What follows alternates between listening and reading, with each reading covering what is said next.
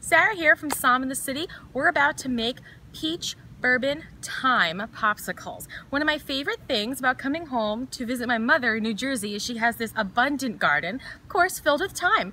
I can't wait to pick some fresh thyme and then I'm going to show you how to make these incredible boozy cocktails. Welcome to the kitchen. So now we're going to make those peach thyme bourbon popsicles I was telling you about in the garden. What we have here is about a cup of frozen peaches. You can certainly use fresh, but I chose frozen today. Thyme simple syrup, which I will strain into my new favorite kitchen tool, the Braun Multi-Quick 7. Then for our bourbon, to add that nice booze-infused touch, we have Bulleit Bourbon, one of my favorites. So what we're going to do first is add in our frozen peaches. Then what I'm going to do is I'm going to strain because I really don't want those thyme leaves in there. I just wanted the essence of thyme to be in the popsicles. So there we go.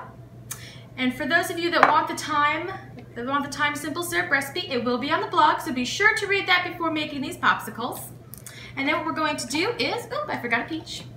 We're going to add in a third of a cup of bourbon. And remember, alcohol doesn't freeze too well, so that's why you have to add in a third. This will make anywhere between four to six popsicles, depending on how big your popsicle molds are.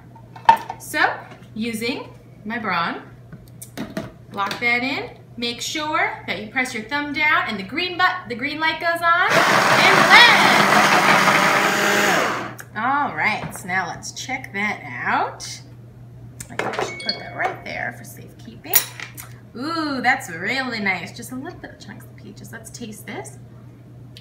Mmm. Oh, you absolutely get the thyme in there. You get that nice kick of bourbon, and the peaches are just so soft, and with that little bit of uh, fresh peach uh, pulp in there, it's absolutely to die for. I can't wait to see how these turn out.